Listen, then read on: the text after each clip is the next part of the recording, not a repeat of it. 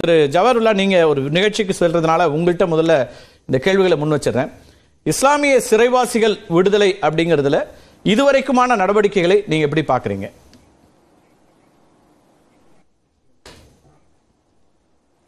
முஸ்லீம் முஸ்லிம் சிறைவாசிகள் நீண்ட காலமாக ஆயுள் தண்டனை பெற்று இருக்கக்கூடியவர்களை விடுதலை செய்ய வேண்டும் என்ற ஒரு கோரிக்கையை தொடர்ச்சியாக நாங்கள் வந்து தமிழ்நாடு முஸ்லீம் முன்னேற்ற கழகத்தின் சார்பாக அதே போல் சட்டமன்றத்திற்குள்ளே மனிதநேய மக்கள் கட்சியின் சார்பாக இதை எடுத்து வைத்திருக்கின்றோம். குறிப்பாக ரெண்டாயிரத்தி பதினொன்று முதல் பதினாறு வரை தமிழ்நாடு சட்டமன்றத்தில் நானும் அஸ்லம் பாஷா அவர்களும் சட்டமன்ற உறுப்பினராக இருந்தபோது நாங்கள் இதே கோரிக்கையை வைத்திருக்கின்றோம். ஏனென்றால் அப்போது இந்த நாங்கள் குறிப்பிடக்கூடிய இந்த முஸ்லீம் சிறைவாசிகள் அப்போதே வந்து ஏறத்தாழ பதினைந்து ஆண்டுகளுக்கு மேலே சிறையில் இருந்து விட்டார்கள்.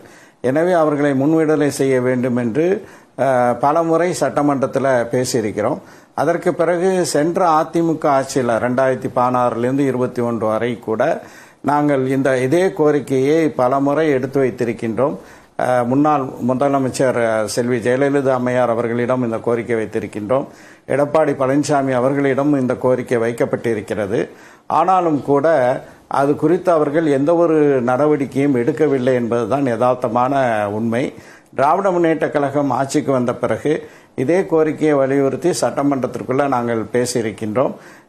அதை அதை தொடர்ந்து குறிப்பாக சொல்ல வேண்டுமென்றால் ரெண்டாயிரத்தி இருபத்தி ஒன்றில் ஆகஸ்ட் மாதம் மானிய கோரிக்கையின் போது பேரறிஞர் அண்ணா பிறந்த நாளை முன்னிட்டு பல நாட்கள் ப- பல ஆண்டுகள் பத்து இருபது ஆண்டுகள் சிறையில் இருக்கக்கூடிய அனைத்து சிறைவாசிகளையும் விடுதலை செய்ய வேண்டும் என்ற ஒரு கோரிக்கையை நான் வலியுறுத்தினேன். என்னுடைய உரைக்கு பிறகுதான் மாண்புமிகு முதலமைச்சர் அவர்கள் அண்ணா பிறந்த நாளை முன்னிட்டு எழுநூறு பேர் விடுதலை செய்வார்கள் என்று அறிவிப்பை செய்தார்கள். ஆனால் அதற்கு பிறகு வெளியிடப்பட்ட ஒரு அரசு ஆணை அதில் குறிப்பிட்டிருக்கக்கூடிய சில அம்சங்கள் நாங்கள் கேட்கக்கூடிய அந்த அப்போது முப்பத்தி ஏழாக இருந்த முஸ்லிம் சிறைவாசிகள் விடுதலை செய்வதற்கு இடையூறாக இருந்தது. இதை தொடர்ந்து தான் நாங்கள் முதலமைச்சருடைய கவனத்திற்கு இது கொண்டு சென்ற பிறகுதான் நீதியரசர் ஆதிநாதன் அவர்கள் தலைமையிலான ஒரு குழுவை இன்று முதலமைச்சர் அவர்கள் கவன ஈர்ப்பு தீர்மானத்துக்கு பதிலளித்து பேசும்போது குறிப்பிட்டாரு. அந்த குழு அமைக்கப்பட்டது. அதை தொடர்ந்து இப்போது வந்து முதல் முறையாக கடந்த இருபத்தி நாலு ஆகஸ்ட் ரெண்டாயிரத்தி இருபத்தி மூன்றில் அரசமைப்பு சட்டத்தினுடைய நூற்றி அறுபத்தி ஒன்றாவது பிரிவை பயன்படுத்தி நாற்பத்தொம்போது வாழ்நாள் சிறைவாசிகளில் அவர்களில் இருபது பேரை விடுதலை செய்வதற்கான ஒரு கோப்பை ஆளுநருக்கு அனுப்பி வைத்திருக்கின்றார். அதை இன்று சட்டமன்றத்திலும் அறிவித்திருக்கிறார்கள். அதிமுகவை பொறுத்த வரைக்கும் அவர்களுடைய பத்தாண்டு கால ஆட்சியில் இந்த முஸ்லீம் சிறைவாசிகள் தொடர்பாக நாங்கள் வைத்த கோரிக்கை எதையுமே அவர்கள் சட்டை செய்யவில்லை. பலமுறை கவன ஈர்ப்பு தீர்மானங்கள் கூட கடந்த ஆட்சிகளில் கொடுத்திருக்கின்றோம். அப்போதெல்லாம் எடுக்காமல் இப்போது திமுக ஆட்சியில்தான் முதல் முறையாக ஒரு கவன ஈர்ப்பு தீர்மானம் அனுமதிக்கப்பட்டு அதில் பல்வேறு கட்சிகளும் இதே கோரிக்கையை முன்வைத்து அதற்கு நல்ல ஒரு பதிலையும் முதலமைச்சர் அவர்கள் இன்று சட்டமன்றத்தில் தந்திருக்கிறார்கள். இப்போ இதில் ஆளுநர்கிட்ட கோப்பு இருக்கு. அது ஒரு பக்கம் இருக்கிறது. இதுவரைக்குமான முடிவுகளில் நீங்க முழுமையான திருப்தியில் இருக்கீங்களா? என்ன செய்யணுன்ற எதிர்பார்ப்பு இருக்கு உங்களுடைய கோரிக்கைகள் நிறைவேறி இருக்கிறதா? அதை கடந்து இப்போ சிறுபான்மை மக்கள் மீது அக்கறையோடு இருக்கிறோம்னு எல்லா கட்சிகளுமே இன்னைக்கு பேசியிருக்கிறாங்க சட்டமன்றத்தில். அந்த வகையில் அதிமுகவும் வந்திருக்கு அப்படின்னு அதை பாக்குறீங்களா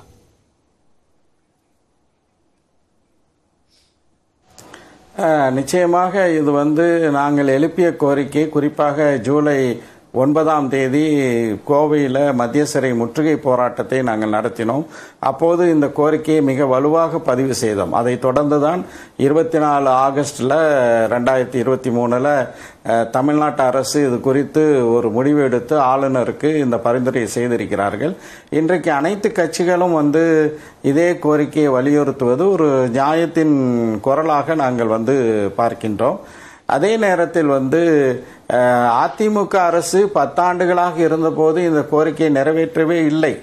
இப்போது அவர்களுக்கு வந்து அவர்கள் முஸ்லிம்கள் மீது ஒரு பாசத்தை பொழிவது போன்று ஒரு நிலையை எடுத்திருக்கின்றார்கள்.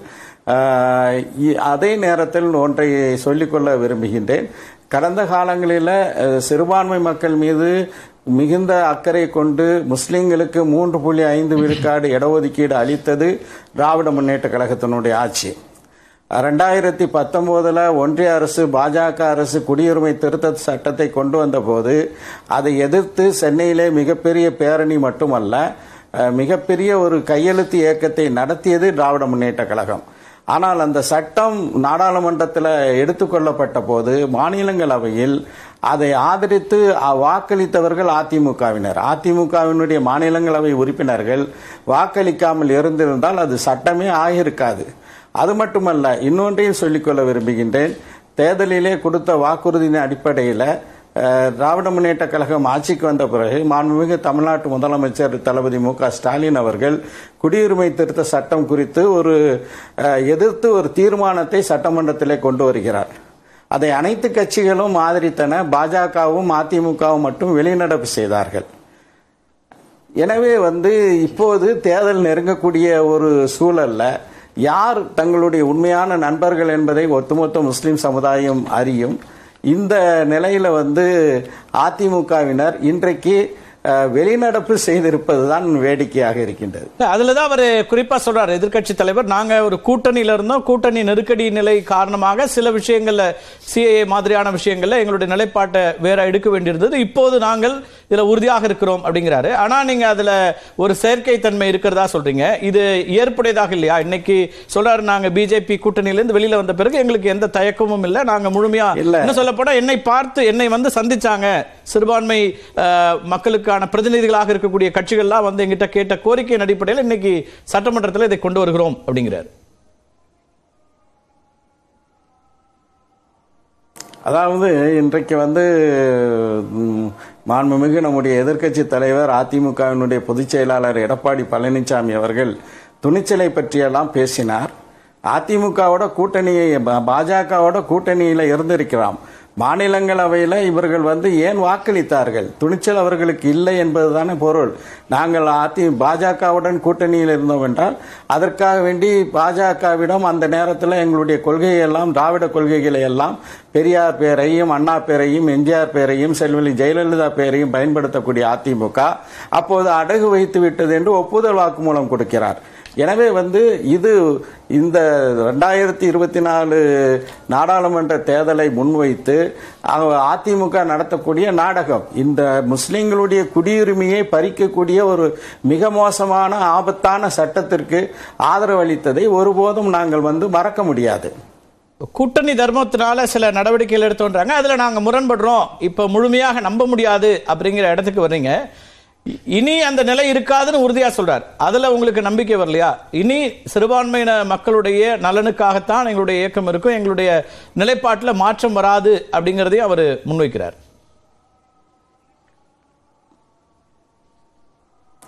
நிச்சயமாக எங்களுக்கு அவர்கள் மீது நம்பிக்கை இல்லை என்று தான் நான் சொல்ல முடியும் சொல்ல வேண்டும்.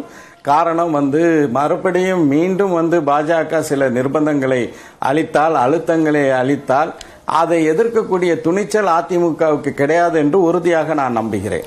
துப்பாக்கி சூடு நடத்தப்பட்டது திமுக ஆட்சியில தான்ற ஒரு விமர்சனங்கள் தான் முன்வைக்கிறாரு. தொடர்ச்சியா அவங்க சிறுபான்மையினர் நலன்னு பேசுவாங்க ஆனா செயல்பாட்டுல என்னெல்லாம் வந்திருக்குங்கிற கேள்வியும் எதிர்க்கட்சி தலைவர் முன்வைக்கிறார்.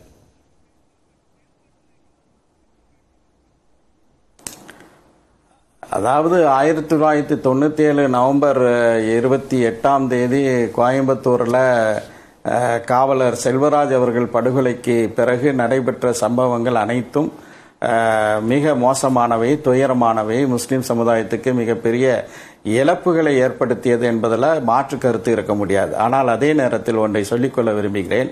அந்த கலவரங்கள் குறித்து நீதியரசர் கோகுல கிருஷ்ணன் தலைமையில் ஒரு ஆணையம் அமைக்கப்பட்டு அந்த ஆணையம் கொடுத்த பரிந்துரை அங்கே சொத்துக்களை இழந்த முஸ்லிம்களுக்கு மிக தாராளமான காம்பன்சேஷனை இழப்பீடுகளை கொடுத்தார்கள் என்பது யதார்த்தமான உண்மை. அது மட்டுமல்லாமல் இந்த கோ- கோயம்புத்தூர் வழக்கில் கூட பெரும்பகுதியான மக்கள் விடுவிக்கப்பட்டது திராவிட முன்னேற்ற கழகத்தினுடைய ஆட்சி என்பதை மறந்துவிட முடியாது.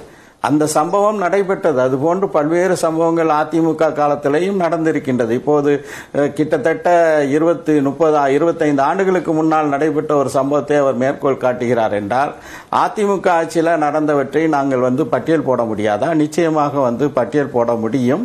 அது மட்டுமல்ல இந்த சிறைவாசிகள் பிரச்சனையில நான் ஏற்கனவே குறிப்பிட்டது போல அவர்களுக்கு அவ்வளோ தூரம் ஒரு அநியாயம் அக்கிரமம் நடந்திருக்கிறது திமுக ஆட்சியிலனா இந்த பத்து ஆண்டுகள் ஆட்சியில் இருந்தாங்களா ரெண்டாயிரத்தி பதினொன்னிலிருந்து இருபத்தி ஒன்று வரை. அப்போது ஏன் இந்த கரிசனம் பிறக்கவில்லை என்ற முக்கியமான கேள்வி இருக்கின்றது? நன்றி திரு ஜவஹர்லா இணைப்பில் வந்து உங்க கருத்துக்களை பதிவு செய்திருக்கு திரு